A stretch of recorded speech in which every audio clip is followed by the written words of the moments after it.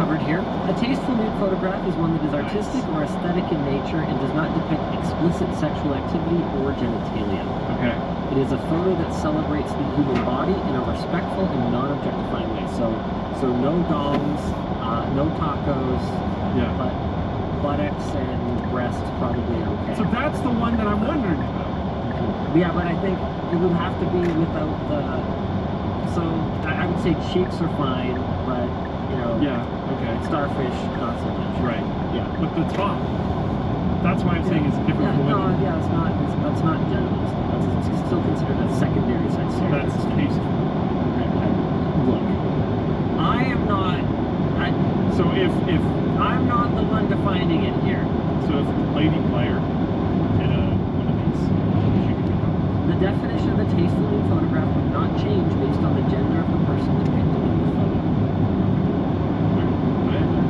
It is important to note, however, that different cultural and societal norms may affect how a nude Yeah. photograph is perceived, and the same photograph may be considered tasteful in one context and not in another. Ultimately, it is a matter of personal judgment and individual interpretation. Thank you, chatbot. Because there's a lot of those. There's a different nipple movement, like all this other kind of stuff.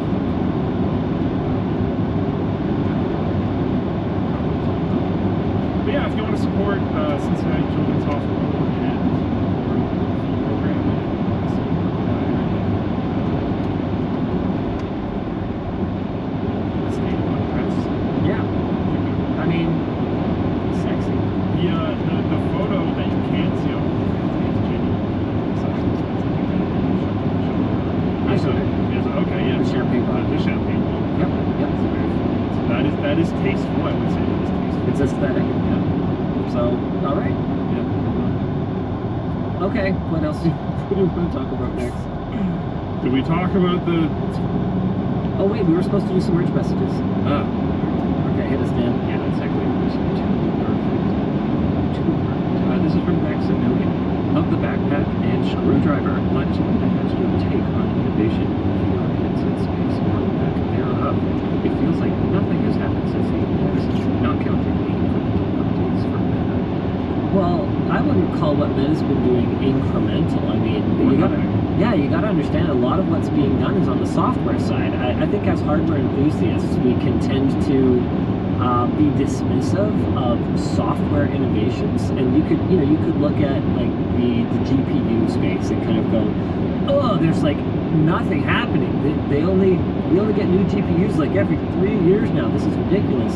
Uh, but on the software side, there's a lot happening to enhance our gaming experiences, and I think we've just got to learn to be, even if it's, you know, not as fun, not as exciting. We've got to learn to be a little more, more open-minded. I mean, um, I would also argue that update, while expensive, is a nice jump for people that wanted to jump.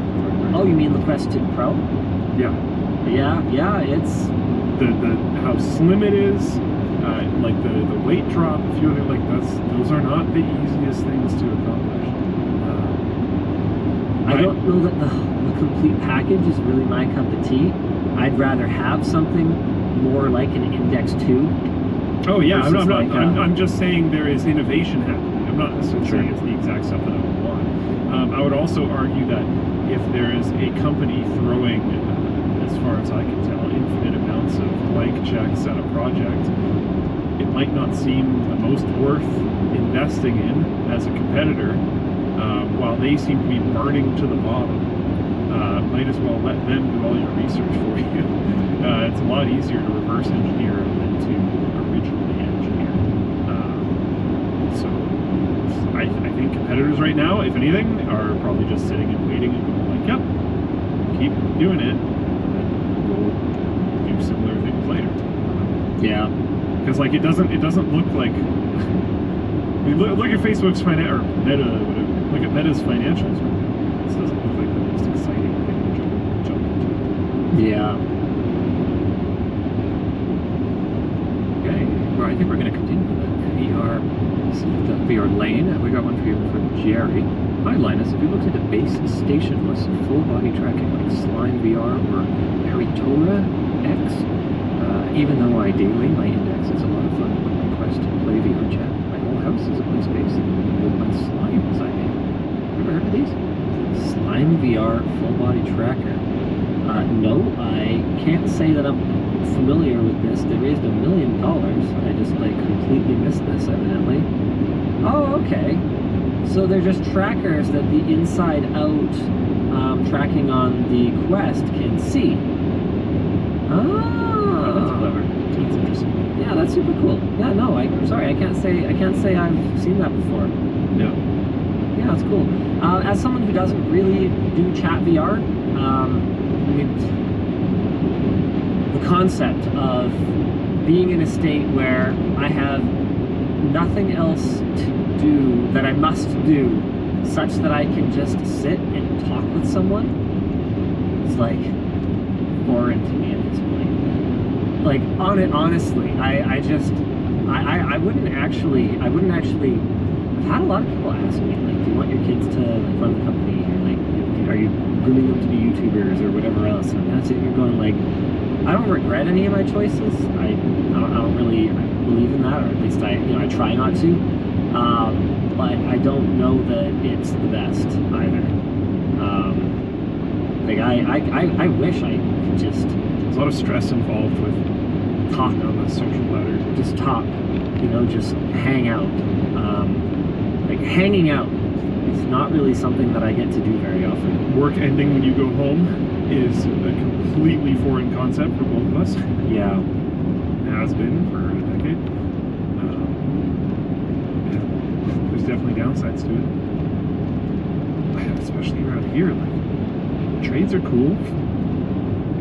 You can find immediate work. It ends when you go home. Yeah. Like the the demand for people in trades right now is wild, absolutely wild. If you're any good, oh, not even if you're if good. you show up Yeah.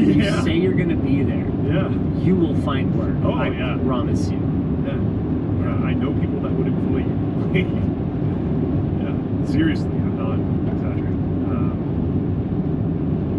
yeah, I don't know. Solid job security because there's way too much to work on.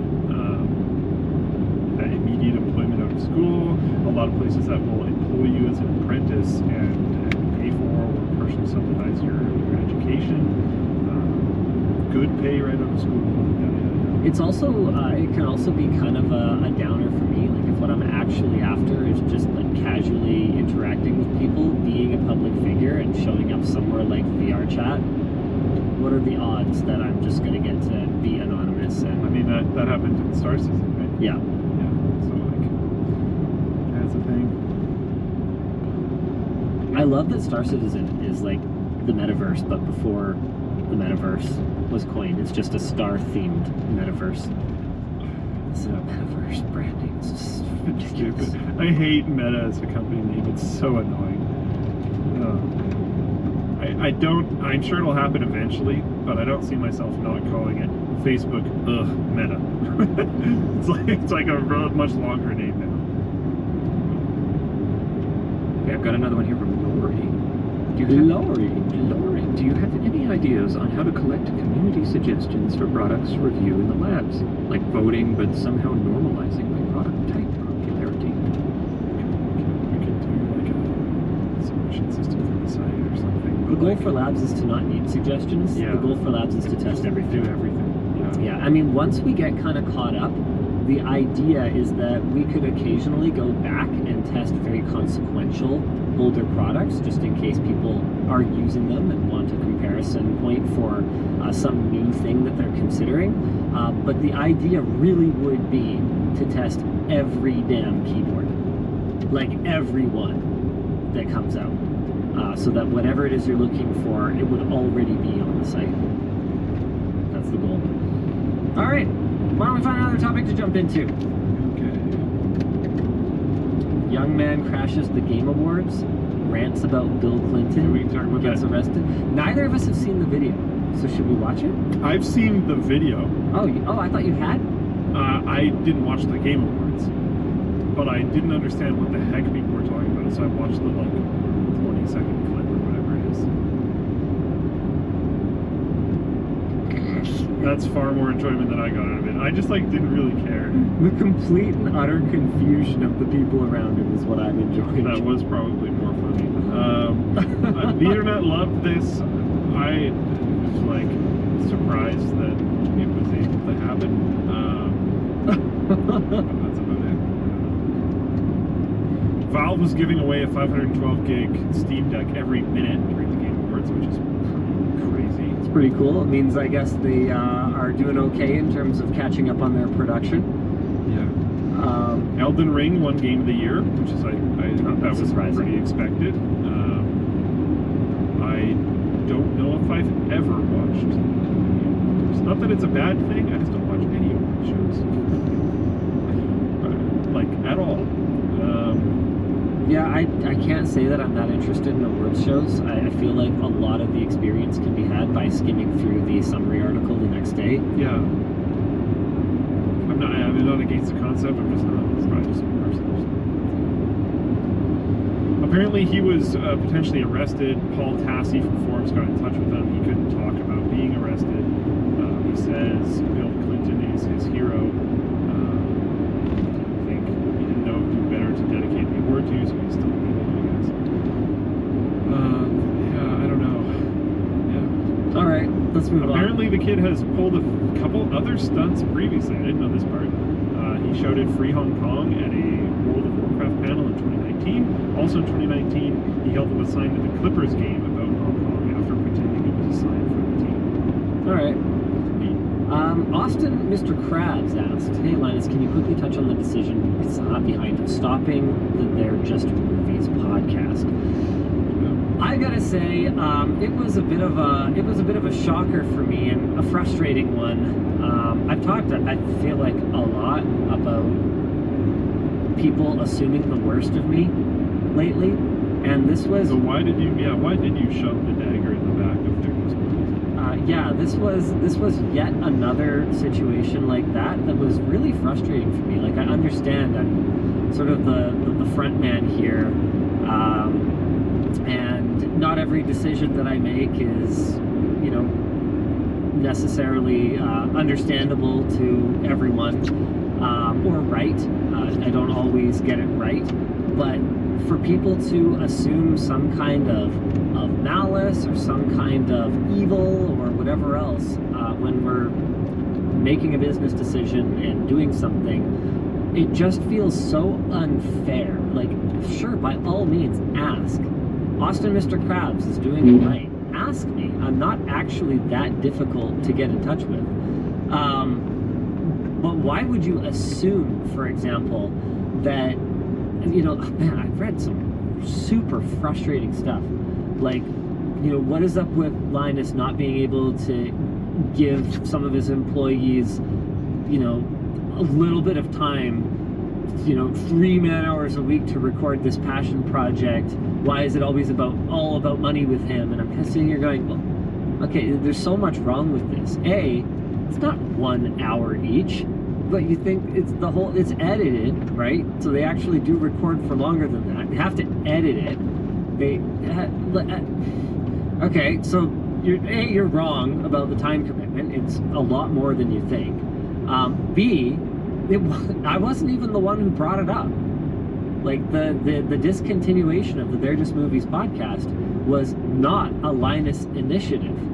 So you're just making assumptions. Um, there there are business reasons why it probably doesn't make sense to continue. I can tell you it's not profitable, but that is not the reason that it was ultimately shelved. Um, if that was the reason, it would have been killed a long time ago. it was it's yeah it was a team decision and it's one that i don't know if the if the the team behind the podcast is going to talk about how everyone feels about it individually but ultimately it was a team decision that was made and we're not able to move forward with it. That doesn't necessarily mean that i'm evil. It just means that for linus media group incorporated it doesn't make sense to continue that project. Like what do you come on guys. Ugh. Yeah, evil Linus shoots down small podcast. Exactly. Exactly. Um, Blaze Henry one says, Linus, you're taking random criticism on the internet way too personally. my personal critique of you on the internet. Yeah, the thing is that it is personal, right? It, it, it is personal. It's this personal attack that is just based on an assumption rather than being based on something that I've actually done. And a lot of the time, flies in the face of every public action that I've ever taken before and since. So it's just, yeah, very, very, very, very frustrating. We've taken a lot of criticism over the years. Sometimes it's super founded, sometimes Yeah. it's not. Oh, sometimes Um, it's very valid. And it's it's